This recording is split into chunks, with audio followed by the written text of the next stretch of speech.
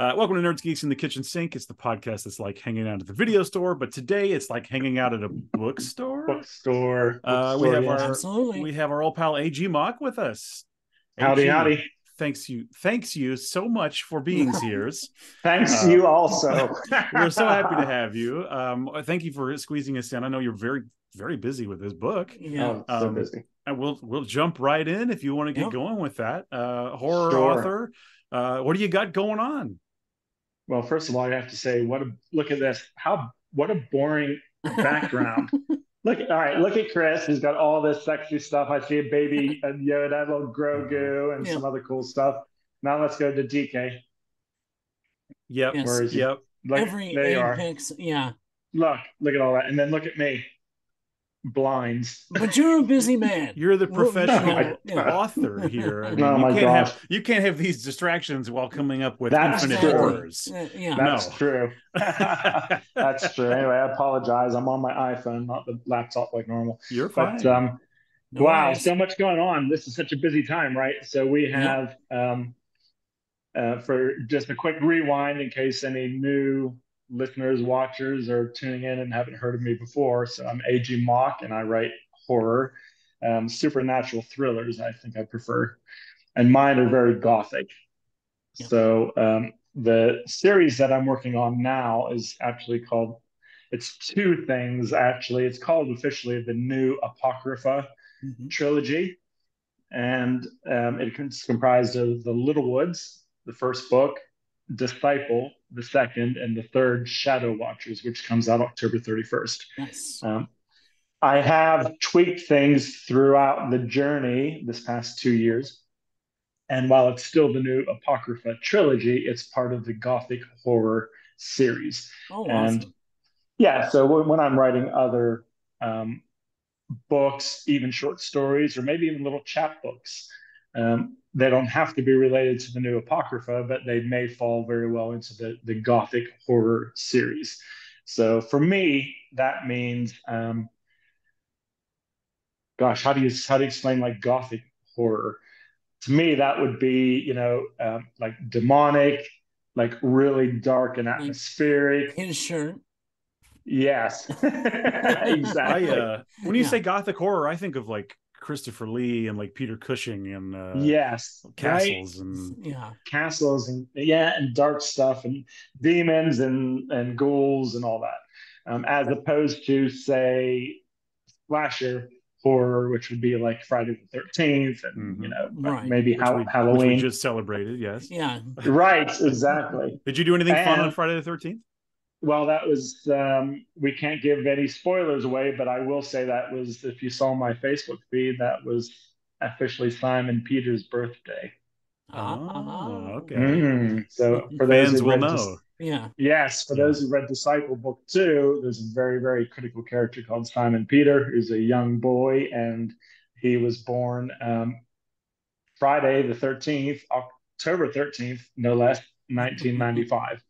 Which I was asked, well, was that really a Friday the 13th? Was it really a Friday the 13th in October that year? And it was. Yeah. I did the research. it AG was. Mock does the work. Yeah. Yeah, man. You got to put, put in the hours. so my buddy Simon Peter, that was his birthday, so I celebrated that. And um, you either love or hate that little kid. I'll tell you, he Uh-huh. gets uh, he gets mixed reviews. So um, yeah, really that, and just putting the finishing touches on Shadow Watchers for it to be out October thirty first. Um, I always work pretty close to the deadlines. Sure. Um, uh, you know, I at this stage in my career, I'm not one to drag out, you know, a series for multiple, multiple years or, you know, one book per year. So for me, Shadow Watchers really wanted to come out by October 31st, and that put, I'll be honest, it put a lot of pressure on me Sure. uh, with everything else that's going on. And I've been in the middle of a book tour around the country, actually. Um, and that continues this coming week, which we can talk about in a, in a minute. But nonetheless, it will be out, and I'm exhausted. Sure. I find that when I have a project like this, Right. having having a firm date like that is the only way it will ever get done. yeah. You Right. don't have a date like this, it's not happening. Right. And my house has never been so clean. They say if you want to get your house clean, give a writer a deadline. Suddenly you're like, okay, so how do I motivate myself? And you have to sort of start doing these sort of more menial tasks that take a different part of your brain where you can almost do them off of, you know, muscle memory. Right. Um, so it's been a lot of that kind of stuff over the past few months to just free up my thinking brain so that whenever I sit down, I'm able to sit down and really get the most out of those hours in front of the computer. Sure. And I'm happy to say it's worked. It's but it's been exhausting. I've done like upwards of anywhere from on average maybe five or six, but upwards to almost 20 pages in certain days, which Oh, wow. Is yeah, which is a lot. That Could is lot. you could you give Mhm. George R. R. Martin some notes on how to do that? Yeah. Seems Right. like he might need You some beat help. me to it. I literally was thinking.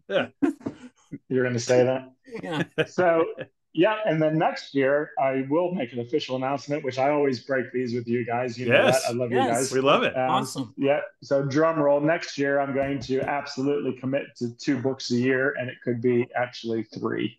Awesome. But- shit. It- yeah, but it will be an absolute commitment of two per year. Um, so I'm really in that um, stride right now. So Shadow Watchers is not only important because it finishes this particular trilogy, but it also got me into that that frame where I'm now working my days the way that I know they need to be worked. I want to ask you. I want to ask you about that. So, with this being the third in the trilogy, w- without obviously spoilers or anything, Right. Will this be the real conclusion to this, or will, is it going to be wide open for more? Do you plan for more? Can you say? Oh no, it'll be no, it'll be a conclusion. Um, No, I would hate to. I'm very okay with now. Little, let me just pause there. The Little Woods, the first book, could be read as a standalone. yes. Right. If you Yeah. read it, you enjoy it, but you're not like that into it. Let's say hypothetically, and let's hope that doesn't happen. But if if that were the case, you could read it as a standalone book and not move on. Um, I'm happy to say, however, and it does have a cliffhanger, but it's also one of those cliffhangers that are, I don't know, maybe I need to think of a better word than cliffhanger because it sort of is a cliffhanger, but it's also one of those ones that, as a standalone novel, it's more of like a thought catalyst. Maybe that's a better way to put it. It's Does that make maybe, sense? maybe you'd say it's an ambivalent ending that could kind of go a couple Right. ways, but Yeah. but Yeah. it's still a good ending. Yes, and it, thank you, and it and it makes people think. One of the I'm really proud of the fact that one of the comments I get that are recurring about the Little Woods is exactly that. People say like, "Holy shit!" Like I put down the book and I haven't stopped thinking about it for the past week. That is a huge compliment, Yeah. right, for a writer because you, last thing you wanted is for them to go, "Huh, okay, let's make dinner," right? I mean, I mean, gosh, because after all that work, right, all that blood, sweat, and tears, Yeah, and sure. passion, and and fear, and everything, to have that kind of response would be just mortifying for me. If you want to know what scares me, that would be my nightmare, right? A group of Right. people, group group of readers just looking at the book, putting it down on the last page, and going, "Okay, that was okay." That would be a nightmare. Um, the fact that people are staying on like a recurring um, statement along the lines of it really made me think, or I can't stop thinking about it, or it gave me nightmares. And I every you know every few months I go back and reread it, and I find more things, more Easter eggs. That really tickles me. sure. But it can be read as a standalone. Disciple cannot. book two has to really be read Mhm. after book one. Right. Um, and the thing is, though, you could finish on book two, right? Just like you could finish on book one. Right. There's again one of those, you know, thought catalyst, one of those, you know, ambivalent endings where it ends definitively, but there's a real big occurrence that takes place. And I like to do these, by the way, if you've noticed, almost like almost to the last page. Right. Mhm. Right, like right, like my Sure. MO is bec- becoming that I don't give you the big climax, you know, 30 pages from the end, and then go through Right. explaining the next 29 pages why that happened. Um, I would rather build it up naturally and organically throughout the story, and then like really just smack you with that ending, and then finish it there or within a couple of pages tops. Right. Um, and Disciple, Littlewoods does that, uh, like literally last page. Disciple does that Yeah. last page. This one is going to do it right up to the last two pages, um, but it will be a definitive ending. There won't be a cliffhanger. It won't be like, well, what the hell did I just read? I don't want people to feel that they wasted the time.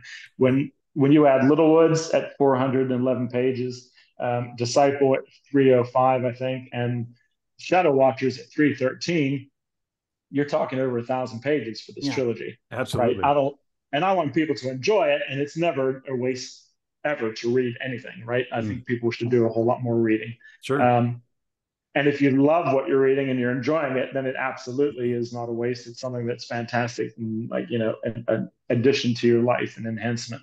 But what I really want is for those things to be met, those conditions. And then thirdly, for people to say, and like, wow, that was a really badass trilogy, not like, wow, that was awesome up until like that would suck for me. I don't want yeah. I don't want to hear those words up until. Right.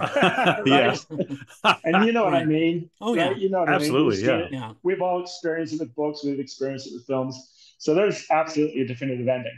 But what's cool about it is that um, there is a lot wide open that is while I'm still ending the the story, there's a lot wide open for me to build in the universe sort of like Mandalorian builds on Star Wars. You know, right. you could watch Mandalorian if you've never even watched a single Star Wars episode. And while you get more out of it having read Star Wars or or uh, watched Star Wars, you can still watch a Mandalorian series, right, and enjoy it. Yeah. So yeah. I'm going to will you will you cry when Luke Skywalker shows up? I don't know. You'd have right. Maybe that was just me. Maybe that was just you. I'm not sure. yeah. Uh, I actually I really liked what you said, and I want to go back to that when you said um, about you know some maybe the quality of something that you're reading might not be the best, but it's still if if it's if it's working for you, it's working. Right. And I want to give a good example, I, and I've talked about this on the show recently, but I, I'm kind of going to give an update here. I've been reading. I finished the. I read the Halloween novelization from the Halloween, oh. the movie, the movie Halloween okay. had a novelization right. the same year Halloween came out in 79. And the novelization is interesting because it has things that the movie doesn't. Um, and you kind of don't know like whatever was actually intended. Did Carpenter have any say? You don't really know. It's all kind of a mystery, right. but but it all kind of goes back to this sort of like druid horror thing. It's very interesting, and that's supposedly the catalyst for Michael Myers doing these murders, right? They don't do a okay. whole lot of that till later in the franchise. Right. But anyway, I think back then probably that book would have been considered to be pretty trashy, uh, honestly. Right. You know, uh, but but reading it now is like an absolute delight, and I'm on to the second one. They did they did a novelization of pretty much all of them, and I'm oh, having wow. such a fun time. And you know maybe a normal person would see oh the, the novelization of halloween 2 no what? But i am in love. It's it's not the best writing i've ever read. It's not the most interesting i've already seen the movie too like i know everything but this novelization is like scratching the itch and it's it's doing its job for me. So i just right. i really liked what you said about that yeah. and it's like i feel better about me reading that if that makes any sense yeah well i hope so listen the the the worst thing that anyone could ever think is I must read what other people are reading. Um, and I wish people, when they would do reviews, and it, I'm not just talking about for me, but like I abhor seeing really awful reviews on anyone's work for a bunch of reasons. Number one, you're taking someone who is a creative, right, who put blood, sweat, and tears into what they have produced, whether it's you know a book, a TV, a, a graphic novel, what a movie, whatever. Sure. Um, and to just trash that after all of that sweat, no one sits there and does this thing. This is shit. I don't like it, and I'm not passionate about it. I mean, right. you can't do it. You cannot put those hours into it, whatever you are creating. Um, so I wish more people would say, you know what, this wasn't for me, but it doesn't mean that it it's the fault of the creator. It's just that it wasn't a fit for me. You know, I don't like coconut. If we, if you've seen, and I know you guys have, right, Zombieland, mm-hmm. right? Sure. And Woody Harrelson's character is he Tallahassee? Oh yeah. Or yeah. is it is that is that his name, yeah, right? Yeah, and he's like, and he's like, um, snowballs. Fucking snowballs, remember? yes. and he's like, and then but then he's so he's sort of like sort of sweet, right? You see that soft underbelly. He's like, well, listen, I want to say it's not that I hate snowballs in particular. I mean, I'm okay with coconut. It's just not for me. It's the texture thing. You know, it's the consistency, right? Exactly though. Right. Yes. Let Right. me ask you. Let me ask you something because you bring up a, a- another thing that's been a discussion here lately. Did you watch the new uh, Exorcist film? Have you had time? No. So my my the way that I operate, guys, is whenever I'm like in I, I'm always in the deadline 'cause like I said, next year will be a guarantee of two books per year, and I'm going to try for three. So I'm always in the deadline. But when I'm in like an intense deadline, like I have been, and that happened with Disciple as I was getting that out for December last year. Um, it's happened with Shadow Watchers now over the past like eight weeks. I really, when I'm in that frame, I can't expose myself to. I have to stop reading other people's horror novels. Right. I have to stop watching horror movies. Um, I can watch stuff and I can read. Try to deliberately move like outside of that realm because what I don't want to do is accidentally ever like appropriate something, so even on a Right. subconscious level. Absolutely. You know, Mhm. and then someone, and then I would I would hate for someone to say, "Oh, well, that's just like so and so." Now, if somebody reads any of my stuff and says, "Boy, that reminds me of something," then that to me is great because it, it just means that you know few minds had the same thought process at some Right. stage of creation, but it wasn't because one of them copied the other, right? It was, you know, two of us have come to the same conclusion and presented it maybe in different ways. Parallel so I thinking. won't. Yeah. Yes, that's a good way to put it. So Yeah. I won't. I'll deliberately like avoid all things like that. So I Okay. didn't see. I, I can't wait. So like for me, when I'm done with the book and my final edits go tonight, um, so I can send it to press at midnight. Um, Shadow Watchers, right? Then tomorrow onwards, not that I'm not busy, I've got a lot of stuff coming up, but I can actually like in my downtime, I can actually move back to picking up. I've I've got a few horror novels. Um, by like there's one uh, was sent to me from J.B. Arnold, who's a great author. He just came out with a new one. I think it's Ex- Exit 203. If I'm, I hope I'm Oh, doing his title justice. He sent me that one. It just launched. You know, I'm dying to get into that, but I can't do it until after this Right. is done. So Completely after- understandable. Yeah. yeah, I just I just thing. wondered because that movie's getting trashed in, in reviews. Oh no, Um, is it? Uh, well, and we But- did our review last last episode, but Chris didn't like it so much. I think it's okay, um, and a lot of people feel somewhere in between. Um, See, now so- the trailers look phenomenal to me. And again, with the whole review thing, you know, Right. I'll never review something bad. I will say this wasn't for me, right? It, it didn't like hit the mark for me. That doesn't mean it's necessarily a bad product. Um, and again, I wish more people would take that. stance. absolutely, sure, But I think what happens is that people, a couple of things. I think that they don't take a breath before, and the internet is not helped with this, right? People don't take a, a breath before they just start going for the jugular for anybody for any reason. You can say, I like Twinkies, and they can say, You're a fucking idiot. Twinkies are the worst, right? It doesn't matter how innocuous the subject. Suddenly people go for it because that anonymity has created this weird absolutely, where we don't even have to. We just go straight for it's called an, an, an amygdala response, yeah. right? We go straight for that amygdala response, which is fight or flight. It's easy to Um, do. Right. It's easy and, to do. and- right. And in most cases, it's on like online, it's fight. In other words, aggression and all this stuff, Sure. rather than giving a, just taking one beat to let our logical, conscious thought processes take over. At which point you can say, you know, this person worked their asses off on the, the Exorcist beginnings or whatever, believer, right? Yeah, believer. Yeah, But maybe it wasn't for me or it missed the mark or whatever, rather than just trashing it. I'm with you though. I I would rather hear that kind of review. I, I don't think there's any reason for this. This is just downright mean sometimes. It's Right. sometimes And- it's it's wild. it's unnecessary as well. Um, I've seen a great quote, and um, I can't remember who it's attributed to, but it basically said, "Remember, you'll never be criticized by somebody who's doing more than you." Hmm.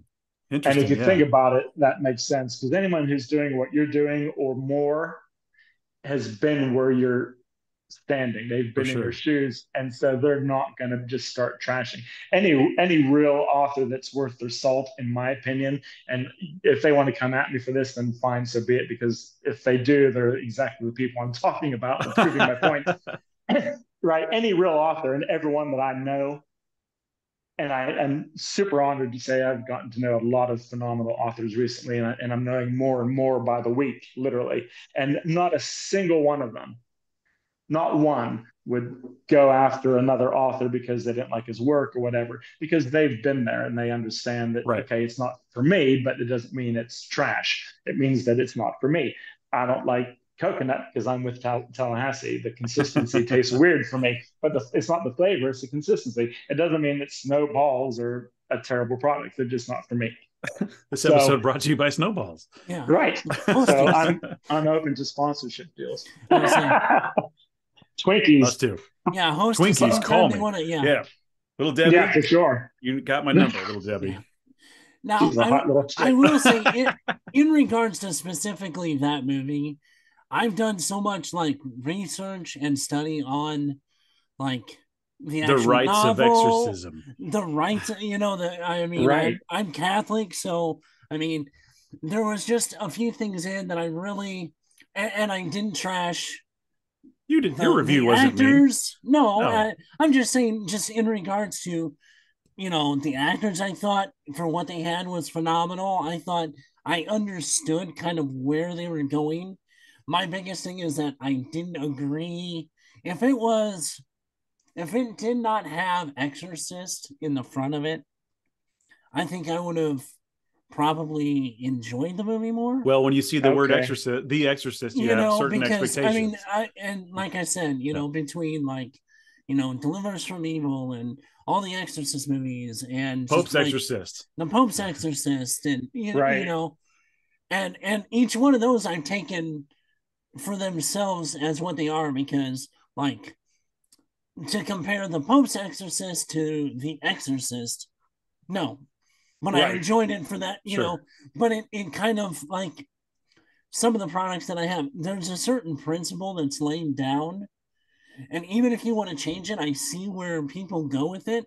And for the fact that they want to build something else, I am like all for it. hmm But you know, like I And said, it- it, it, It didn't hit the mark for you. no, no. Like Now, I said, question. in all honesty, if it if it did not have did not promote that this was, you know, a, a direct sequel, hmm I may have enjoyed this a little bit more because there were some scenes and I I really kind of Right. It's fair. So you had you Yeah. had expectations. See, and I do Yeah. too. And that's that's different from saying like it's just trash. What you're saying is that okay, it may not be for me, but that's because I had these expectations, Right. and for me they weren't met. Yeah. And see, now I may very well next time. And I just saw, by the way, the Pope's Exorcist because if I remember right, one of the last times we talked, I was Yeah. working on Yep. Disciple and s- Yeah. said the same thing. We Like, talked I can't- it. Yeah. yeah. like I can't watch that. Don't tell me what. Right, Because right. because I'm working on my own. Um, and yeah, I just watched that and I thoroughly enjoyed it. But personally. I enjoyed the Pope's Exorcist. I thought it was a Oh, great we movie. did too. Well, think and I we remember, But I it's remember not an Exorcist movie, No, is it? no. when you were I thought here. was- I thought it was tongue in cheek. it, totally. When you were here, I was like, "Mm, I don't know if I like the Pope's Exorcist, but then I saw the movie, and I was Right. like, oh, it's so fun. It's a fun, Right. It's a Yeah. fun movie. is. There is an exorcism, but it's like a fun adventure. I would say it's almost an Russell adventure Crowe movie than Is drinking coffee and going around on a scooter. Uh, Right. This It's- is it's like- amazing. It's like Indiana Jones meets The Exorcist. Absolutely. Right.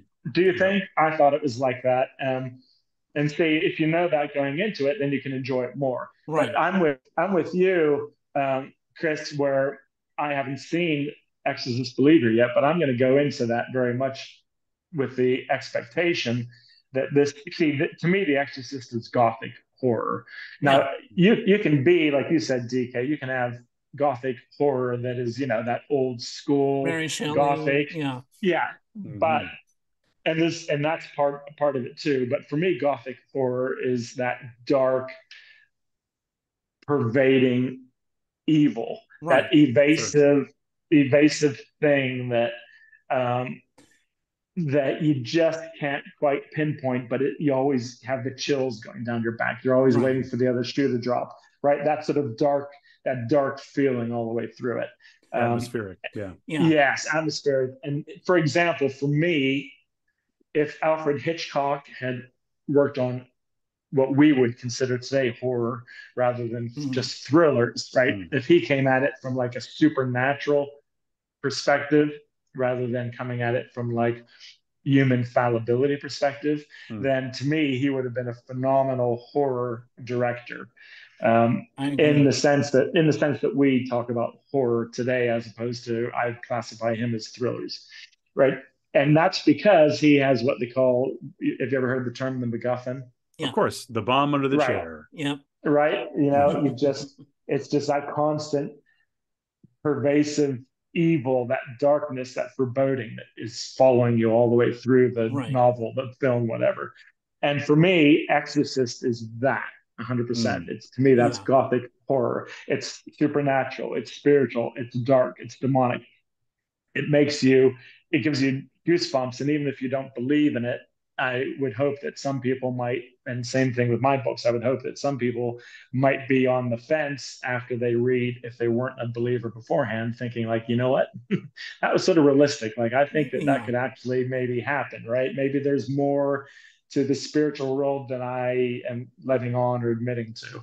To me, that's Gothic horror as opposed to just a slasher film, and there's nothing wrong with those, but you know that's a different kind. And then you have um, like Grady Hendrix does horror, but he doesn't do gothic. He does mm-hmm. that. He does that like again that tongue in cheek, like my best friend's exorcism and things yeah. like that. Right. Right. So there's and it's often like a, and that was like a, that was a fun yeah. movie. Right, but see, yeah. it's like fun. Totally different. Yeah. Right. And I hope that my stuff is fun. Um, you know, in the Little Woods, we're band, banding back and forth between 1977 and 1995. Um, right? So there's a lot of fun stuff. You know, I'm mentioning things like Fleetwood Mac and uh, you know the Rolling Stones with you know Paint It Black, their song, and so the cool stuff that was happening in the 70s, right. um, and the way that kids spoke to one another and the things that they did in the 70s, um, and then same thing with the 90s, and then Disciple kicks off in the 90s and goes to 2005. Um, now we're going to go from well, I'm not going to say from when, but we're going to go up to 2000. Okay. I will say we'll go up to 2011, and that's where the trilogy will stop. I do like that but, aspect of this of these yeah. books for sure. The time, the time travel, if you want to call it that, whatever. The time jumps. Right. Um, oh well, thank I, you. Yeah. I think those that's a really neat little uh, tool that you use. Um, well, thank you. Yeah, it, I, think, I think it takes you away from the reality of today. Right? We've got enough, and that's all horror, and all movies, right. books, whatever you read. And, and, you were saying, right, DK, about, um, you know, you're reading the novelization of the Halloween. Yeah. Well, again, it may not be for someone else. It doesn't mean it's trash. The fact that you're right. reading them is phenomenal. The fact that you're enjoying them is phenomenal because you know why? It's taking you out. Number one, it's taking you out of everyday life, which sure. is critical. The yeah. greatest thinkers in the world will actually bow to the fact that fiction in whatever form helps them escape and come back to reality and do what they do better. And I think it helps people process reality in some way. Right. You can filter your reality through these fictions and Correct. come up with a truth. Yeah. Right. You know, there was a study, and, and I think we might have mentioned this before. There was a study um, after COVID that actually a scientific study that actually showed that individuals who read horror or watched it in TV and movies were better able to psychologically cope through the COVID, the intense COVID years, yeah. 2020, 2021, right. because of that. Because, um, and it's not, I don't think people would say, oh, that's because they're desensitizing. I don't think it's that. I think what it is is coping mechanisms because you psychologically, you emotionally when you, especially I think when you read, yeah. you are learning coping skills, your brain and your mind and your emotions, you're learning those skills, right? On like, how do I get through this? Like, how do I process what I'm going through right now? Mm-hmm. And I think that's so important, particularly with novels, because while I love movies, absolutely, and I'm a movie junkie, I love novels for the fact that they make you use your own mind. Yeah. And there's nothing more terrifying than what you'll find in your own mind, right? when something happens and you're imagining it, it will always be more thrilling, more scary, darker, more grotesque, whatever it's going to be, right? Yep. Um, than what a producer could do or CGI could offer up. Right. And that is, I think, just a fact, which is why people always say the movie was good, but what do they say? The novel was better. The Novels book better. was better. Yeah. Yeah. Yeah. Usually the And case. not- yeah. Right. And it's because of this, right? Because they're using your your your own imagination.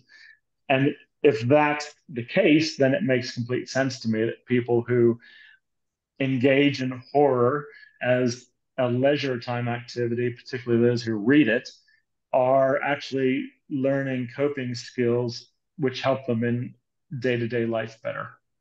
Absolutely. Do you, yeah, do you think? I fully agree. Oh, I, I really, I know that for Yeah. a fact. I think. Yeah. I mean, I think No the question. biggest thing is like, you know, even whether it be real life or fiction, understanding and like navigating trauma or, Right. you know, like, you know, some kind of happening in regards to like the like trauma or situation or, you know, even even per se fictionally with dealing with evil. You Right. know, I think real life on top of it, you know, you you have a better like like you said, coping skill to navigate through. No, you're absolutely right. Yeah. And if you think about it, let's let's use like an example.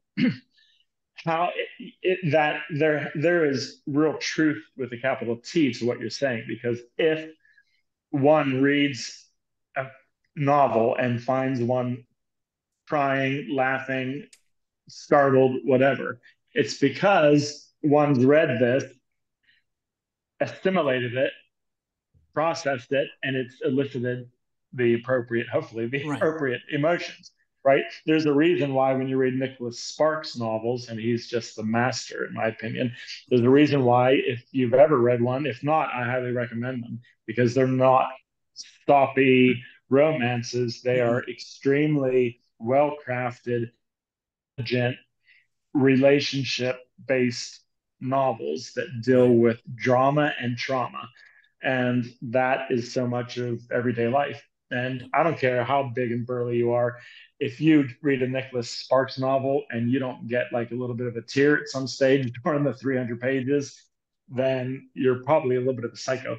because, right, honestly, because Yeah, he's he's touching on such emotive topics in such a real way and whenever your imagination then gets involved and you, the two of you are running hand in hand through this story it becomes Right. real it becomes like you said um, it becomes real trauma right and Right. you have to learn how to process and have, how to cope with it it's why when you close a book sometimes you're just like ah, i feel like i have to breathe for a minute Mm. right? Like I need Absolutely. to process all that. And yeah, and so for sure, I love that whole processing part of it. And and I think for me, that's why novels will always be scarier, more funny, more thrilling, more sad than you know you'll ever get into a into Right. a into a, a into a movie. It's my opinion. It's just one of the many powers, magical powers of books. I think. I think you're totally right. Right. Absolutely. yeah. I Uh, will say, uh, Nicholas Sparks that you mentioned him is like my wife's one of my wife's favorite authors, and I have I have on downtime of not having a new book myself, and I annually I I kind of picked up Christopher Lee's uh, habit that the end of October into November I read The Hobbit and the Lord of the Rings trilogy. And then you star Oh, you in do? several Dracula movies. Yeah, I'm still working on that one. Come on, But, I would uh, love you to be Dracula. Come on, I, imagine. it. I won't say what I did in my younger years when I was overseas. What but would your Dracula be? Hang on. What would your Dracula be like? Would you be more of a Gary Oldman or would you be like a Christopher Lee? Like, do you think you'd be like a creepy Ooh. old, like floating around, kind of like, ooh, Dracula? Or would you be like a, would you be like more of a, a passionate creature, like a Gary Oldman? I would be neither. What Remember the old Canadian show where the vampire was he was like a night shift detective? No, I don't remember that one. What was It's it called? Do it you was- oh god. Why are you describing the ultimate TV show that I've never heard of? It I was know, right? it was like an 80s TV show. It only did like a couple of seasons. It was a Canadian. The guy I can remember the guy was blonde. Um, the very first pilot, they actually had Rick Springfield play the guy. Oh, really? How 80s is that? That's very 80s. That's funny. But that'd I'll have you. to look it up. But yeah, that would be me. So what's I would be vibe the of that? vampire detective. Yeah. Mm. So I wanna you're remember a, you're you're you're the undead killer with a heart of gold. Yeah, kind of. Well, I always said more of a Dexter type. Not So you want to want to use your powers for good, sort of. sort of. Like you're still murdering people, but Yeah. like maybe people who But they deserve it more it. by your Exactly. moral deserved it. standards. Yeah, yeah. Hey, look, I'd They- I'd watch they- your show. I'd read your Yeah. book. Yeah, they deserved it. Why not? So yeah. Sure. I mean, I think everybody Oh knows gosh. I'd be more of a a, a passionate You lover. would you would be Uh, more I'd of a be Gary a, Oldman. a sexual dynamo. I think the people know werewolf that on I, the bench. Yeah, I I, would know. be seducing people left and right, and it would I it would can be see mainly that. it would be mainly that. Um, I can see that. However, I do have to say, Dustin, that you do need the coiffured Yeah. white, oh, the two, the white bul- the two. Yeah. the two get it. bulging, the two bulging cerebrum type of like things it. that he had. no worries. I can see it. That would just be smoking. Oh, I'll rock it. I'll get it. God. Well, do you guys want to do? We have our little horror trivia. Let's. Why don't we hop into that? Unless there's something else, Let's- Chris. No, let's hop into it. Okay. Well, we'll do that, and then AG has got something special going on in a week or uh, two weeks. Why don't Two- you tell uh, us I about that weeks. while I? Why don't you tell us Yeah. about that while I open this? Yeah. Okay. Well, the the first one, by the way, my Facebook readers. This is another like breaking it with you guys. Um, on this coming Saturday, so depending on when people are watching or listening to this, but Saturday the twenty first of October, um, I've been invited. This is super cool. I've been in, invited to the Barnes and Noble in Annapolis, Maryland. They have a brand new event called Blood on the Bookshelves. And this is the first That's annual one, name. hopefully. That's a I know, great right? title for it. Yeah. And um, some really amazing authors are going to be there. Probably the biggest headliner, or one of them, is Richard Chizmar. Do you know this gentleman's name? He he wrote uh, "Becoming the Boogeyman." His sequel to that just came out, "Chasing the Boogeyman."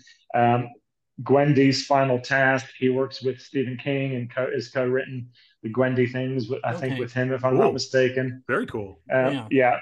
Great, great author. He's he's he's going to be there. Um, Mike Salt, a gentleman who's uh, becoming friends, I hope I can say, um, who's all the way out. I think is in Oregon. Um, he's flying all the way across the country, literally. He does the Linkville horror series of books. Uh, so Mike Salt's going to be there. Uh, just, I think there's like eight of us, if I'm not Oh, mistaken awesome. But yeah, that's going to be this coming Saturday from 2 p.m. to 6 p.m. It's called Blood on the Bookshelves, Barnes and Noble, Annapolis, Maryland. And that is, I'm super honored just to have been invited. So I'm excited about that. And then in two weeks' time, it's Halloween. Yep. And I have my first annual Halloween Arcanum, which I don't know if you guys know about. Do you know about the Arcanum? Yep. I I uh, actually we sh- when you first came out with it, I shared it to a lot That's of our, right. our guys. I appreciate that. I love that. Thank you. Yes, I forgot. Um, I'm excited about the Arcanum. and It's it's something that I may do in some form or other each year. I haven't decided that yet. We'll see how this one goes. But um, this one is specifically related to the Little Woods uh, novel. It is a three day, two night event. It takes place in Pittsburgh and an undisclosed location, which is where the real Little Woods is, Oh, because it was inspired by real events, the novel. And um, it, it was held, I, I, I deliberately said 12 people, but if anyone is a reader and they're interested in my books and they've been following me, they know that that would never truly be the case. It was always going to be 13. right? ah, yes. So um, the the twelve chosen ones, which actually became the thirteen chosen, because I, I knew that all along. Um, so the thirteen individuals could buy tickets, and that was it. Closed after the thirteen. Done. D U N N Dunn. Is that spelled right? Correct. Yeah. Yes. 10 points. Great. Yay. I win. So, um, and tickets went uh, for anywhere from $666, of course, to 999 And um, beautiful. But yeah, and I sold out within almost sold out. I think I think I had one ticket left within two hours of releasing Beautiful. it, which yeah. yeah. a few months ago. And then I sold that final one just a few days later, which I'm super excited about. So uh, we're all going to a event. What was a what was a real convent in Pittsburgh. I will announce now, for those who don't know, um, if you've come to any of my appearances or book signings this summer, you'll have heard this. But if not, then I'll announce here publicly that the convent is actually featured in Shadow Watchers. Oh yeah. So yeah, so we're actually going to the convent, the old, the previous convent in Pittsburgh, Pennsylvania, that's featured in Shadow Watchers. We'll be having uh, the Monday night. We're going to have um, when everyone arrives, we're going to have a an exclusive VIP launch party for Shadow Watchers. Very cool. You know, all yes. all food, all drink included. You're going to get a copy of the book handed to you from me on Monday the 30th. Pizza party, um, I hope yeah, absolutely. Big party. a big costume party as well. Um, everyone's going to get merch. I'm going to do a reading from the book. But again, it's awesome. just for the it's just for the 13 chosen ones who who. How cool who is that? Bought tickets. Yeah, yeah. it really is cool. The, thank yeah, you. I've, I've seen photos of where you're having everything. You know, almost oh, where yeah. you're having everything, and it looks amazing. It it really does. The thank people you. that get to go and just lucky sons of pictures. I think it's so fun, and I'm so excited that people were as excited as I was about it, and that you are too. So thank you, because you know you never know. People might have gone like, "Eh, sounds sort of interesting," right. but it, it, wasn't. I mean, the fact that we sold um, 12 of the 13 within two hours um, was phenomenal. And um, the next morning, then, which is Halloween, we wake up we're going to have breakfast together in the convent, and then off we go. We're, we're, we're getting ourselves into a little minivan, a mini bus and we're heading two hours away, a road trip to the real Littlewoods. We're going to add, I've got permission from the landowner. Um, we're going to go to that neighborhood. They're going to see where I grew up, which is Ian's home in the book. They're going to see a lot of the other homes from the characters that are mentioned. We're going to go down to the bottom of that neighborhood and we're going to park up. We're going to go down that tractor path through the field, and we're going to hang a right at, at, the Twin Ponds and go to the real Little Woods. I hope you don't um, disturb any ancient beings in there. Yeah. Oh, well, I hope we do. That would be more fun, right? That would be an added bonus. Um, yeah, and then uh, after we jaunt through the Little Woods for a couple hours, and we're going to look for the Father Oak and all these things. And you know, I haven't been there. It's inspired by real events. Um, I haven't been there myself, guys, in like forty oh, wow. something years. Yeah, forty years. So yeah, so more than forty. So I, you know, I don't know if I'll if I'll find the Father Oak. I'm going to be just as like anxious and like sure. on edge. I think like as anyone else. Yeah. You know, it may be more so, right? Because there's parts of this is very real and and parts are embellished. Right. Um, so and that I'll never sort of share. But yeah, that's going to be exciting. Then we're going to get back in the van. We're going to go to uh, the tavern that is that inspired Dempsey's, or what what is people know as Della's sure. Tavern. We're, we're going to go have lunch at Della's Tavern. Then we're making our way back to Pittsburgh, and we're going to have a couple hours to chill out. And as soon as we've caught our breath, we actually have one of the most notable psychic mediums in Pittsburgh coming to oh, the awesome. convent on Halloween night oh, at cool. the convent to do so cool. a gal a gallery reading for us as a group where she will um, attempt to make contact with various people who have passed on who are connected in some way to the people that are coming and she has no way of knowing there's been no revelation there will be no revelation um, even the even the convent itself the previous convent don't know anyone who's coming other than myself. Right. So it's what not like she, yeah. Right. So she can't just like go, oh, well, I've researched all the people. I found the names on the list. Like there is no list. There is a list, but I have it and only I. So my I have it, my wife has it, and that's it. Um, no one else knows. So yeah, I'm excited about that. Um, and then we wake up the final morning, which is the what Wednesday, November first. We have breakfast Mhm. if we're still alive. Hopefully, we are. Yep. And um, we say our goodbyes, and everyone makes their way out into the world. But that'll be my first Halloween Arcanum. Um, so I'm excited. I'm pumped to do this. I think and spend like three days, two nights with all like some of my most hardcore readers is going to be a blast. That's awesome. That's so cool. Yeah. So, Yeah. What an experience for sure. So, like the attendees in their swag bags before you go to the Little Woods, they'll have a black hood, right, for the van Oh, ride. A black hood, yeah. So right, Yeah, a- yeah. A bag, black bag over their head when you go to the And- Little and have Yeah. Can you imagine? Can you imagine if I got a speeding ticket and that was? People in the back seat. I'd be like, Don't officer, worry about everything's them. just fine. They all paid a thousand dollars to do that. We're okay. Yeah. That's very funny. That's very funny. yeah. That Well, all would be right. hilarious. Let's uh I have these All right, I'm ready. I have Okay. these uh All right, I've, I'm I've ready. got okay, so here we go. Okay. I have chosen 10 of these cards. I didn't look at what's on them. Um, but I have 10 of these cards, so I'll ask each of you five questions. I will give you the opportunity to steal. So you may end up Oh. with more than 5 points. So okay. AG, I'm going to start with you. If you All don't right. have the answer or get the wrong, and they are multiple choice, by the way. Okay. Um, I hope I don't uh, embarrass myself again. You let's see what won't. No, Don't worry, I, I'll embarrass myself for the both I of us. want Chris to look terrible. okay, Well- hit me. Well, here you go. I'm ready. What type of animal gave birth to Damien in The Omen? Is it A, a donkey, B, a coyote, C, a jackal, or D, a goat? Oh, it was a jackal. You're damn right it was. Boom! Yeah. A very funny Mhm. story about that. Uh, my wife. Uh, What about jackals giving birth to the well, Antichrist? it's funny though. That is hilarious. Isn't it funny? It's super funny. My wife is reading. We were doing this whole like novelization thing, and there's a novelization of The Omen. And, I saw uh, that. Yeah, I saw that. And my wife is reading that, and um, Did she like it, or is it she finished it. Yeah, liked she likes it. Um, Oh, good. but the uh the thing is i'm like I, I- we were laying in bed and she's reading she's next to me and i go oh uh you know what's happening in the story all i can remember is the guy going his mother was a jackal and she's like she's like she's like i'm not kidding that's the sentence i'm on and she showed me the page Oh. and that was there his mother was a jackal and i was like oh my god yeah, spooky. Well, All right. you know, Della, Della from my books would say there's no such thing as coincidences. yes she would Mhm. So what Right. did that mean? I wonder if you had any weird visit. You, you didn't realize that that night there was probably some demonic entity just Mm. sort of hanging over your bed, watching you breathe.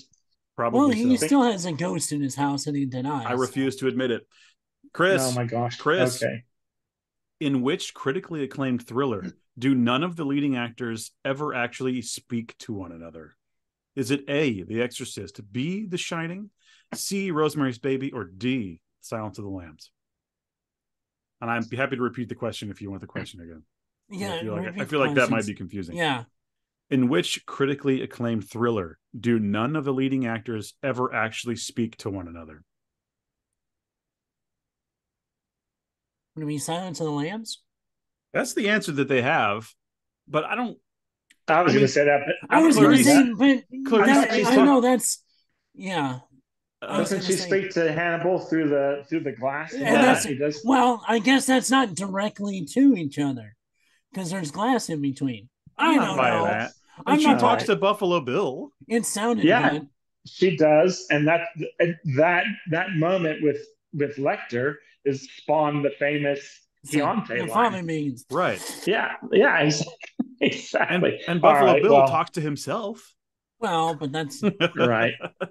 or the multiple personalities. Yeah, you, you know, Yeah, either one. I won't do the voice. I almost I won't do it. yeah. Um, Hey, I, can I just throw in there? I did say, and I uh, did see. I mean, I'm sorry. Um, I wish I could remember so I could give them credit.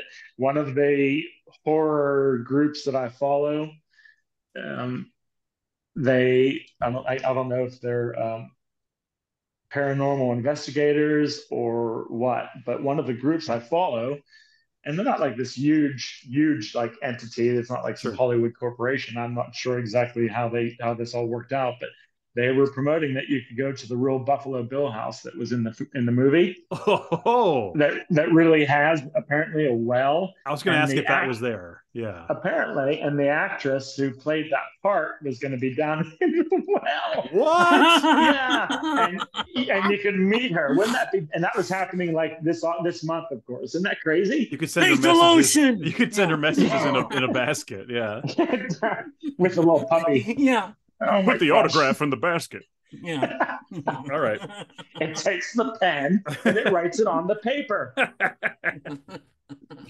All right, AG, back to you. Okay, I'm ready. Here who we go. played who played the mummy in the original 1932 film? Okay, hit me. Lon Chaney, Bela Mm. Lugosi, Vincent Price, or Boris Karloff? I'm going to say Boris. You are correct. Sweet. Woo! That's my mummy. Paying. I, w- Yeah. I wish I had some kind of like uh, bell I could ring. I should have All thought right. of that. That would have been yeah. All right. All right.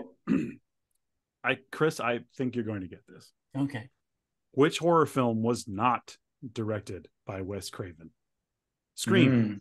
Friday the 13th, Last House on the Left, or Nightmare on Elm Street? Last house on the left. AG, would you like to guess? No, God, no. No, because I was going to say I was going to say the same one. So Well, your no. the remaining option. It doesn't hurt to guess because you could get some points here. Your remaining options Uh, are Scream, okay. Friday the Thirteenth, or uh, Nightmare on Elm Street. Oh my God. Oh well, is it Friday the Thirteenth? Yes, duh.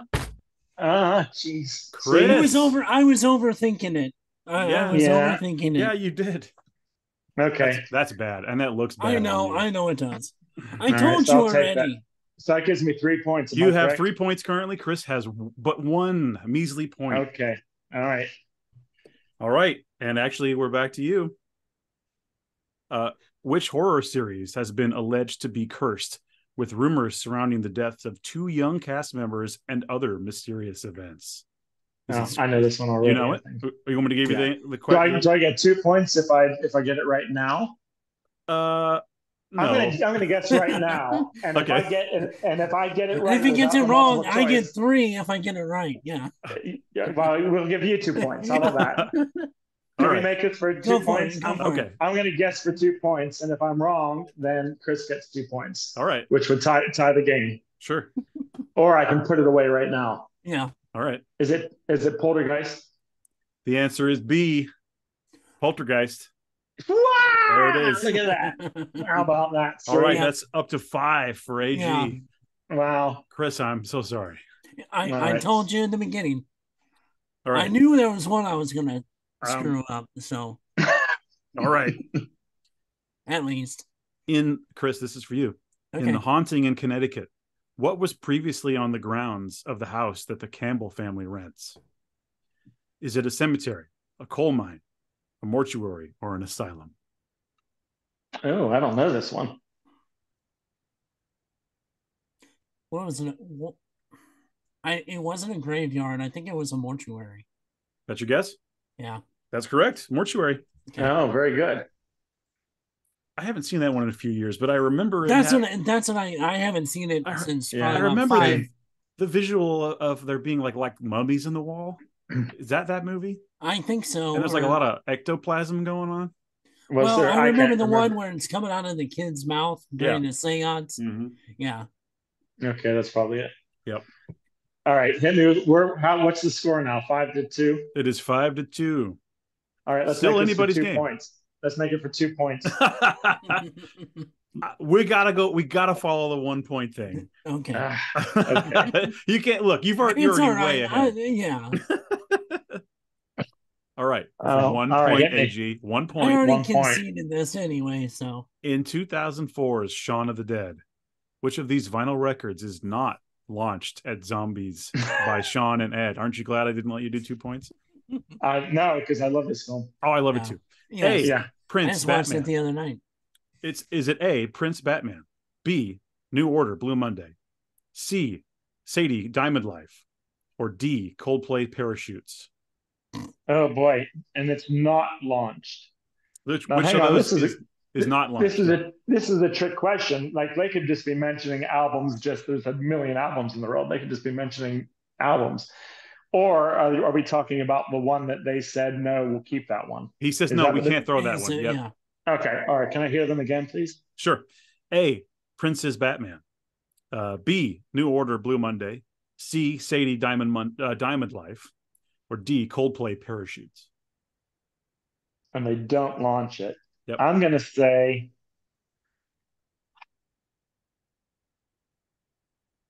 Oh my gosh. Now I'm feeling the pressure. hmm I'm gonna say, was it Sade, Diamond Life? Is that how it's pronounced? Sade? Yes. Yeah. I- I Sade. didn't Sade. Sade. Okay. Well, pardon me, uh, but no, that's incorrect. Dang it. All right. Uh-uh. What was the answer? Oh, Well, we gonna Chris? give Chris? Well, Yeah. by elimination, we know it wasn't Coldplay because we all would throw that record. Oh, I wouldn't. I wouldn't uh, have that record to begin with. But Yeah. go on. Uh, I'm gonna go with um the A answer or one. Okay, Prince's Batman record. Yeah, Well, you're wrong as well. I know, and it was the. wow. It was New Order. No, You're- it was Coldplay, you guys. Are you kidding? It really me? was. Yes. Are you Oh serious? God. Yes. Look, these cards could not be wrong. Okay. Can I say something? I didn't even think that Coldplay had that album out yet. I know, Wow, I was- didn't either. I I wasn't. think it was pretty new. Or It must have been. yeah. Okay. All right, AG, back to you. Back to me. No, no, it's Chris's turn. Sorry. Right. No, that's right. It is. Yeah, Yeah, it's yeah, Chris's it turn. is. Yeah. Yeah, that was a steal. In 2017, Chris, which actor played Pennywise in the remake of the horror film It? Is it Bill Skarsgård, Stellan Skarsgård, Alexander Skarsgård, or Gustaf Skarsgård? Uh, Which of the Skarsgård dynasty played Pennywise? Bill. You think it was Bill? Yeah. That's correct. It was Bill, our Mhm. boy Bill. Very good. All right. He's, I mean, he's talk about forward. an acting family. For real. I mean, you Yeah. know, between the Northmen, Vikings, Hmm. this, John Wick, Right. you know, right, right. Yeah. Yeah. I Do you have a favorite? by Do you have a favorite Skarsgård? The old man, Is that Stalin. Stellan, yeah, Stalin Skarsgård. yeah. I like him too. I like him a lot. Just because, uh, do you remember the movie King Arthur with Clive Owen? And Mm-hmm. uh, he played the Viking bad guy, like the head Viking in that, and he's almost unrecognizable. I like him a lot in um isn't it Girl with the Dragon Tattoo? Isn't he Yeah. the Yep. he's great. He's so good. Oh, yeah. Yeah. Mhm. Yeah. Yeah. All right. AG, All right. I'm, chomping at the bit. How many, how many questions we have left? two cards left. Two, Two cards All left. right. Yep. Hit me. Chris has three points. AG has five. In the 1984 movie Gremlins, which of the following is not one of the three three rules to follow for the creature? Okay. Is it A, no water, B, no sudden noises, C, no food after midnight, or D, no bright light? Oh, it's sudden noises, correct? You got it. Yep. Sweet. You got it. All right. So now Chris cannot I cannot come technically back. come back from this, but I'm going to No. give you this That- one anyway to make you feel better. All right. Make it a three point question. Oh, we won't do that. No, no, No, no. no. There needs to be a winner. Which of the sca- Okay. which scary movie, Chris, had the tagline "They're here"? Do you want me to read you the? like as in the franchise scary movie or no, no. Which scary actual- sim had okay, the tagline "They're here"? Is it 'Cause I'm Invasion of the Body Snatchers, Dawn of the Dead, Poltergeist, or It's The Strangers? Poltergeist. Yes, it is. Yeah. See, should have made it three points. We'd be tied right now. Four to Mhm. six. AG takes the gold medal. Okay, I'll take it. Yeah. Because All you know, it had me confused a little bit because there was the whole scary movie Scary movie. franchise, Right. and they Right. could have had like as the the tagline with it too. Right. So I don't know about that Silence of the Lambs question. I don't. I I don't. Yeah. Someone we needs to clarify. If there's a listener who knows what they're talking about there, I mean, I was just trying to to go me. through everything, trying to think of. if you're in the Discord, Like, please let yeah. me know in the Discord Right. server because that would be nice. Right. We didn't, um, we're not thinking of, Mm, no. Strange. Yeah, I don't Isn't that understand. weird? I I don't, don't know what that's I don't about. understand. Is this going to be, uh, is this going to be a Mandela effect? Maybe it is. it could be. Maybe where it is. we're all where we're all like, yeah, of course she talks to him right there. We come up with the Fava Beans Chianti line, And Yeah. then if you watch it, it turns out that never ever happened. She definitely Yeah. talks to him because she's always like Doctor Lecter. Yeah. She's down. Hello. Doctor Lecter. Yeah. That's So great- I don't. There's no great way that. impression. Thank you, I feel like I'm I'm gonna look away. Do it again. Doctor Lecter. Oh my god, I got goosebumps. I feel like I'm there. Thank you. I, I will admit something though. I think I What? like Brian Cox better as um as Hannibal Lecter. I think I prefer Manhunter to Silence of the Lambs. That that version of uh yeah. of him. Right. But they're both Right, right. awesome. I mean, both those movies together are just both Ooh, Yeah, for sure. so Yeah, good. Fantastic. hmm Well, and Red Dragon is the continuation. Red Dragon as is a thumbs down, Chris. I didn't say it was it was great. It's a I remake of, it's- of Manhunter. yeah, oh, yeah. that's- Manhunter's better in all Right. ways. Oh, I know. Mhm. I don't think I've seen Manhunter, so there you go. You you Oh. both have one up on me. Yeah. It's Mhm. it's uh, excellent. 80s uh, Michael Mann. Beautiful. Uh, Nice. Brian Cox is uh, Hannibal Lecter, and it's about uh, Will Graham catching. Well, Will Graham catching the Red Dragon guy. He's uh, Yes, Right. different. it's a Yeah, different killer. Okay. But so yeah. Gotcha. Anyway, it's a great movie. I recommend. Yeah, I saw Red Dragon. I haven't seen Manhunter. Mhm. Have you guys? Did you talk last time we were on here, or did I hear your episode that I was not in? Because yes, I do actually pay attention whenever you. Awesome. Excellent. I don't just watch the ones that I'm in. Very I'm happy not to a hear. narcissist. Thank I'm not a you. That's good. narcissist. um, you guys talked about the movie Nefarious, right? I Chris did. liked it a lot. I didn't see it. I I liked it a lot. I love that movie. I, so, I, D- I DK, you didn't like it? I haven't seen it. he hasn't seen it. I haven't watched it. Oh, dude. See, to me, well, again, though, you're you're one of those you're one of those non-believers. So Yeah, I, and, that, I, and, I, and I'll admit that's why I didn't see it.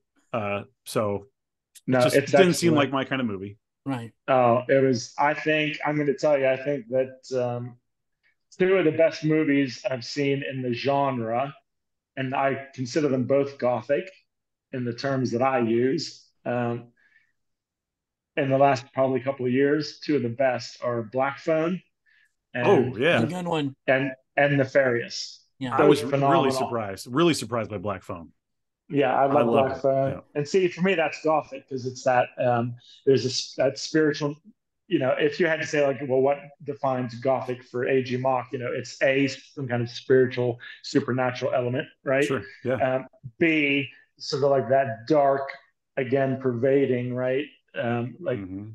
that sense of like what's going to happen next. The vibes. Um, yeah, that vibe and and like a sort of grittiness or graininess to it that you can't necessarily let certain je ne sais quoi that you can't put your finger on, Yeah, but there's like sure. like this sort of like grainy, deep, like this could be a real happening. Sure. And Nefarious, I thought was excellent at doing that, and so was Black Phone. But yeah, Nefarious, I thought was a plus. I didn't love the ending to Nefarious very much. Um, for me, again, see, I'm not going to bash it. I'll just say for me, there, it wasn't as good as Right. it could have been. But I adored the movie um, to the point where I just instead of renting it, I just I just bought the the download because I know that I'll watch it again. I thought it was superb. So you liked it it, was- too, huh? Oh, I loved it. I loved it. It was really good. And just the concept, it was just for for the majority of the movie it was just this one-on-one interaction Right. of, you know, what you, you really Right. gave you a sense of like what evil in real life day to day would be facing, you know, communicating with, you know, Yeah. something that 100%. true evil. Hundred percent. I agree with you. I the fact that most of the movie is just two people talking sounds like the most boring premise ever. Um, and Yeah. so I hope I don't put people off by saying that. It's not at all, is it? I mean, No. Chris, if you you I found myself like I said to my wife, I'm so fucking jealous. I'll be honest. The, Sure. the writer who Yeah. came up with that idea, and I I still just I've been so busy I haven't had a chance to look him up. Um, I'm presuming I don't believe I've not heard of it, so I don't believe it was necessarily a novel first. I don't know if I'm Uh, wrong. and actually, the movie Nefarious itself is like a continuation of the novel itself. oh, okay. So it's it's All like right. a post, you know, And who's the, the author? Do you know his name? Steve Deace. Steve, what? Dace. How do, Uh, I can look it up. I can look it up real fast. Yeah, I'm- D-E-A-C-E, I think maybe. yeah, I T-E-A. want to. Yeah. Yeah, absolutely. I want to, and I would love to. If Steve Deace was watching, I would love to connect with him because I was so um, envious. Like, son of a bitch, how did I not think of that? Because uh, to me, it was just the most exceptional premise, and um, I thought I thought the movie did it phenomenally well. Um, Uh, looks like there is a book called A Nefarious Plot. Yes, that's Okay. it. Um, that's okay. So they they took it from that adapt and Mhm. ad- adaptation. it inspired the film Nefarious, and yeah, it's Steve. I would say that it's maybe pronounced Dees. No, D- it's Dace. Is it Dace? D E Yeah, A it's C Dace. E. hmm Okay, D E A C. D E A C E. Yeah.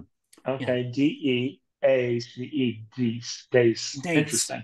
Yeah. Dace. You really think I'll it's check- Dace? I would say Dees. I know it's Dace. Okay. He has a He's like- that I've I've listened to once Oh, or cool. twice. Oh, cool. Well, Yeah, thank you for yeah. correcting me. Yeah, for sure. I would love to connect with it. Super, um, phenomenal talent right I there. think I'll he tell you, 'cause- lives in Iowa, if I'm not Okay. mistaken, or Ohio. What else is there One to of the do two. there? Yeah, Just write scary things. yeah.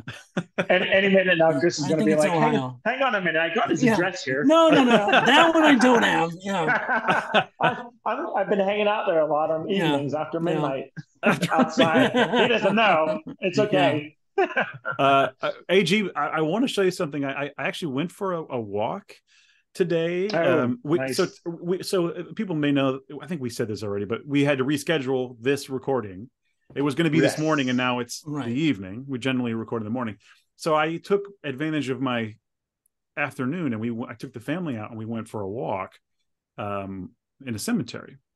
Mm. and uh, I came across something, and I thought, how strange.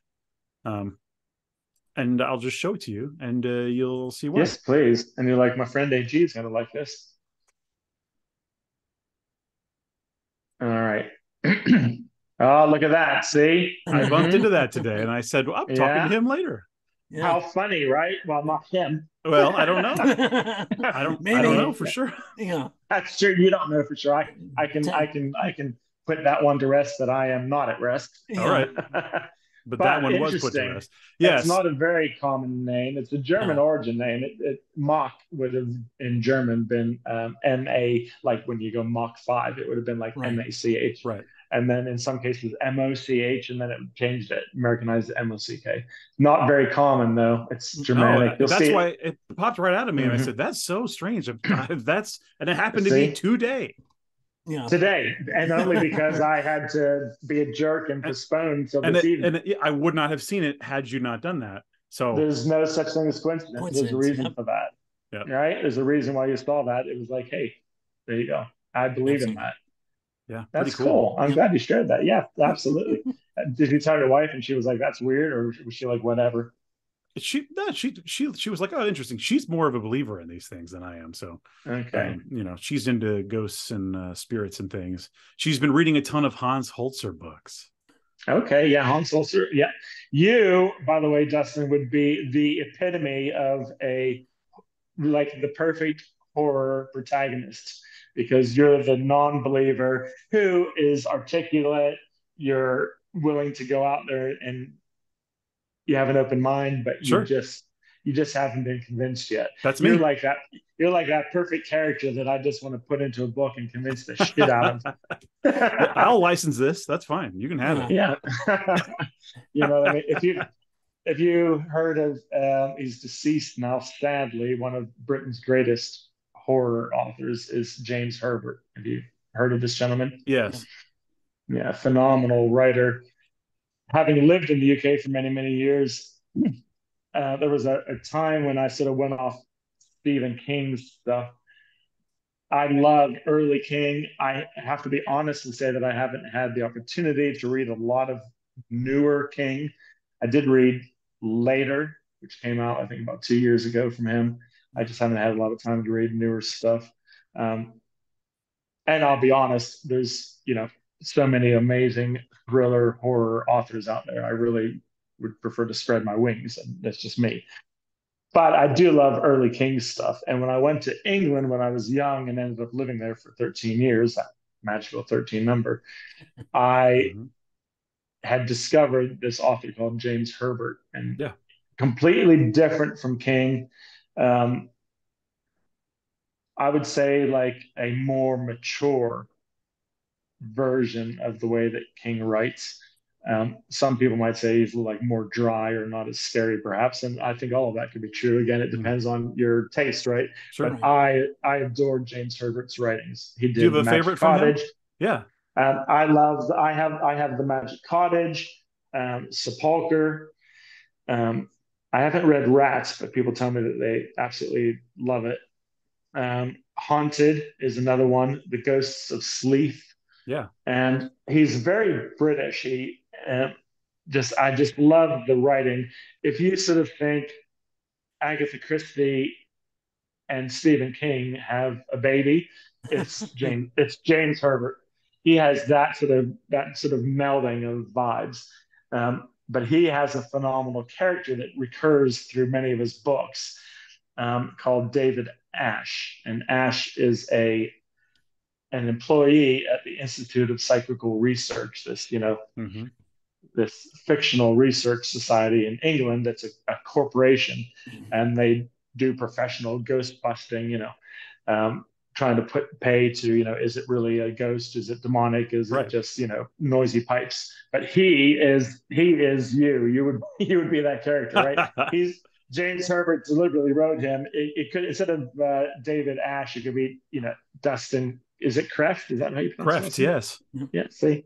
Um, because he's that intelligent, open-minded skeptic who puts himself out there on behalf of the institute to to investigate all these things. He knows full well that it's always going to be, you know, a air bubble in a pipe somewhere making the, the bumpy noises upstairs sure. in the attic he knows that for a fact as far as he's concerned but he does have 1% of his mind open to the possibility that it could be something else. Sure. And of course you know what happens? He ends up coming across the 1% and eventually you know becomes more and more of a believer. But yeah he's that really that really hardcore skeptic. And because of that he's a great character. He would be that character. That's so cool. That's why so cool. why don't why don't you believe?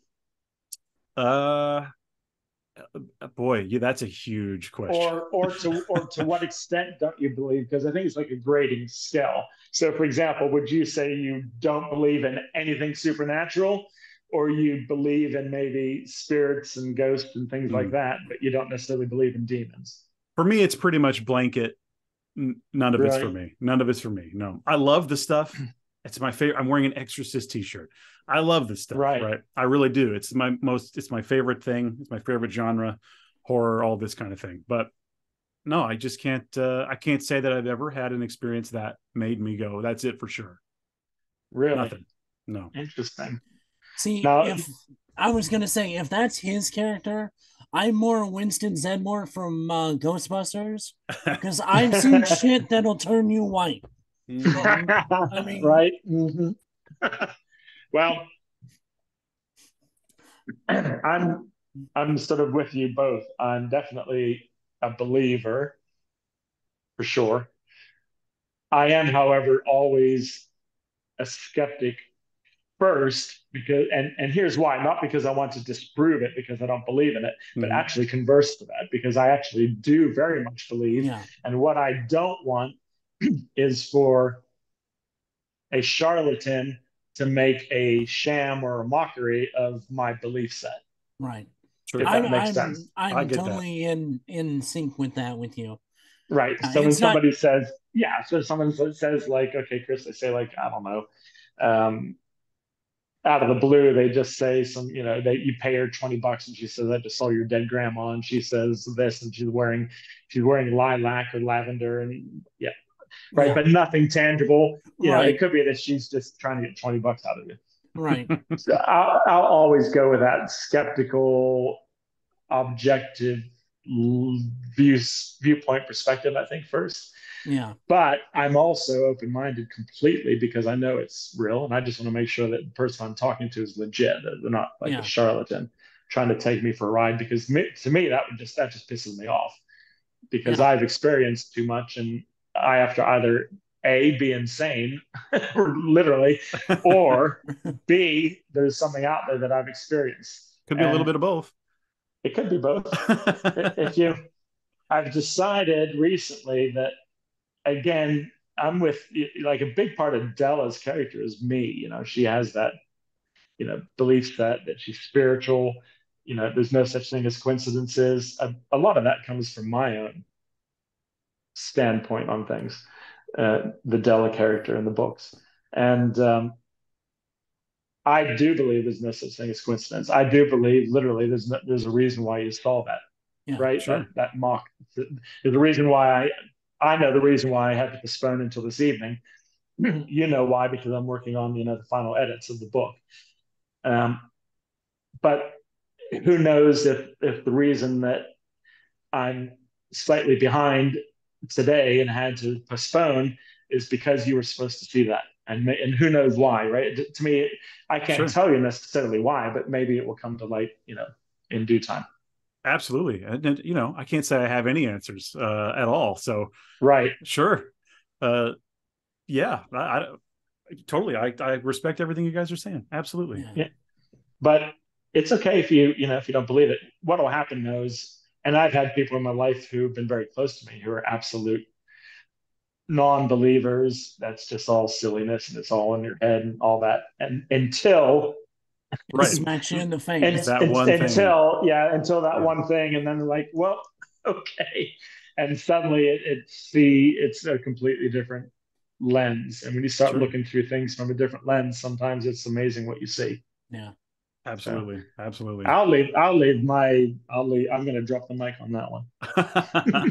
it's a good place to do it. It's a yeah. good place to yeah, do it. For sure. I appreciate you guys so much. I have to run. I I apologize. Sure. Have, no, I, no, that's what, a great place to yeah. end. What it's um, nine thirty our time yeah. when we record this in the eastern sure. seaboard. I have two and a half hours to get something to the printer, so I don't want to have to blame you guys for well, we sincerely appreciate you coming on and, and sharing your time with us. And uh, you know, it's every time you're here, it's a treat. Yes, Thanks for stopping by. Great. Um, uh, I, you know what? I couldn't. I couldn't reflect that even more myself. I love talking to you guys. It's a blast. So please, I I want to be the October guy. Like, I don't care how big you know anything ever blows up in a positive way. Sure. I want to be awesome. I want to be that October guy because this well. Uh, once more, please tell people uh, where they can get what they can get uh, yeah. and when they can do it. Yep. Oh, thank you. Yeah, absolutely. So, um, book one, two, and three of the new Apocrypha uh, trilogy, which is part of the Gothic horror universe uh, that I'm writing. Um, book one is The Little Woods. Book two is Disciple. Book three is Shadow Watchers. The Little Woods and Disciple are out now. Shadow Watchers release is October 31st, so just right around the corner. You can get them um, first and foremost on Amazon. You can get them from your local bookstore. You can just go online and type them. You'll get them in. I mean, they're available worldwide. So, awesome. but yeah, for sure, I would love, and I'll be at in Annapolis, Maryland next Saturday, um, October 21st 2 p.m. to 6 p.m. And if you're into horror and you're anywhere within, you know, an hour's drive of Annapolis, Maryland, I would highly recommend it because not just me, but you know, more importantly, you know, people like Richard Chizmar and other huge authors there. Um, I think eight of us total. So if you want to get like your horror novel fix all in one go and see eight pretty cool writers and get books and get them signed and get you know, I'm going to have some free merch I'm giving away, and I think Chizmar is too. Then just pull up to the Barnes and Nobles in Annapolis, Maryland, next Saturday, the 21st. Excellent. Uh, one more question: Can can people pre-order the new one, or is it still not up yet? Y- yes, you can pre-order Shadow Watchers on Kindle. Okay. Um, the paperback, which comes out on the same day, October 31st, it will drop at 12:01. Um, the morning of October 31st, which is what Tuesday morning, right? So when we're in our Halloween Arcanum, yes. um, overnight as we're sleeping, it will drop. You can order it Im- immediately, and then some people will get it within a day or two, depending on where you are in the country once you order it. Excellent. Or you can order it from Barnes and Noble or any other bookstore from 1201. But the pre-order is only on the Kindle on Amazon. Okay. It is a special price though until m- tomorrow, which is depending on when people see this. Right. Uh, Monday, what's tomorrow's date? The 16th. 16th. Monday night, the 16th, the Kindle goes back to regular price. Right now it's three ninety nine. Okay, I'll So link if- that if in the you- description. So if people want that, uh, I'll put a link there so people Yeah, can go ahead and and pre-order that. Uh, they, they can pre-order. Yeah. It, it's like forty percent off, and it'll go back up.